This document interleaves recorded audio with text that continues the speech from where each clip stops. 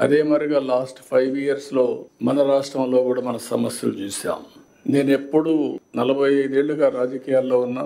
అవినీతిని చూసా అసమర్థను చూసా ప్రోగ్రెసివ్ పాలిటిక్స్ చూసా. అదే మరి కొంతమంది ట్రెడిషనల్ పాలిటిక్స్ చేస్తూ వచ్చారు. కానీ ఇలాంటి రాజ్యాంగాన్ని తమ చేతుల్లోకి తీసుకొని ఏ విధంగా ప్రాథమిక హక్కులను కూడా పూర్తిగా కాలు రాశారో మనం చూసాం. అంటే ఒక్కోసారి రాజ్యాంగంలో కూడా కొన్ని కాస్ట్లీ మిస్టేక్స్ జరుగుతూ ఉంటాయి. మామూలు మిస్టేక్స్ కాదు. కానీ ఆ సఫరింగ్ కూడా కొన్ని తరాలు కొన్ని డికేట్స్ సఫర్ అయ్యే పరిస్థితి వస్తుంది. అయితే అల్టిమేట్గా ఎవరైనా సరే రాజ్యాంగాన్ని అతిక్రమించిన రాజ్యాంగ స్ఫూర్తికి వ్యతిరేకంగా పనిచేసిన నేను రెండు వర్డ్స్ వాడుతున్నా. ఒక అవినీతి చేయడం మన బాధ్యతను మనం ఉల్లంఘించినట్టు అవుతుంది. అధికార దుర్వినియోగం చేయడం కూడా రాజ్యాంగ ఉల్లంఘనే.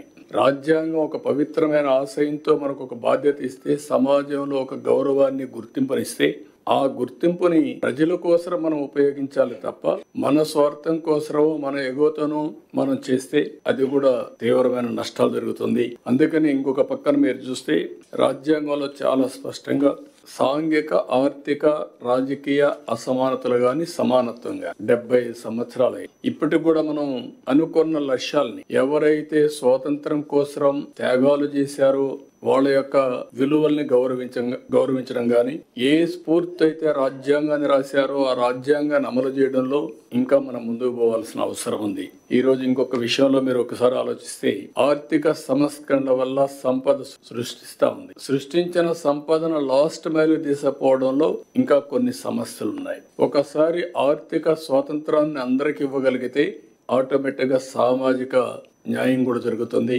రాజకీయ ప్రాధాన్యత కూడా వస్తుంది మళ్ళీ ఇవన్నీ కూడా ఇంటర్లింక్ రాజకీయంగా అందరికీ సమానమైన అవకాశాలు వస్తే చట్టాలను కూడా వాళ్ళు అమలు చేస్తారు. ఆ చట్టాల వల్ల మళ్ళా అందరికీ న్యాయం జరిగే పరిస్థితి వస్తుంది.